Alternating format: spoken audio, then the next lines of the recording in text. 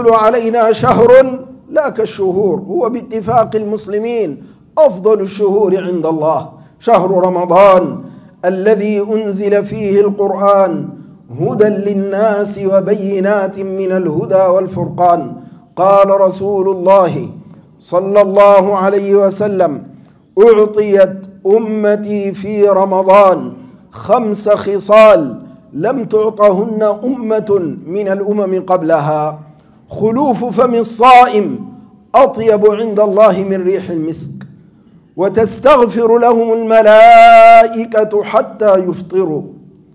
ويزين الله عز وجل في كل يوم جنته. ويقول يوشك عبادي الصالحون أن يلقوا عنهم المؤونة والأذى ويصيروا إليك. وتصفد مردة الشياطين. ويغفر لهم في آخر ليلة من رمضان. قيل يا رسول الله أهي ليلة القدر؟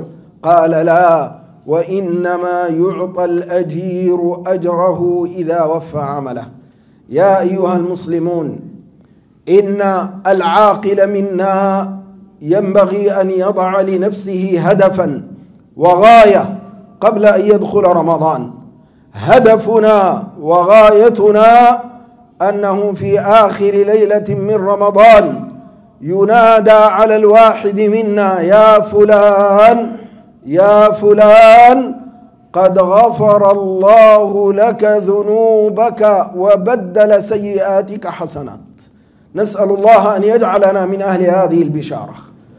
ويغفر لهم في آخر ليلة من رمضان. من أراد أن يفوز بهذه الجائزة أيها المسلمون عباد الله لا بد أن يصوم صياما شرعيا لا عن الطعام والشراب فقط بل لا بد أن يغض بصره ويحفظ لسانه ويكف سمعه ويستعمل جوارحه فيما يحبه الله ويرضاه.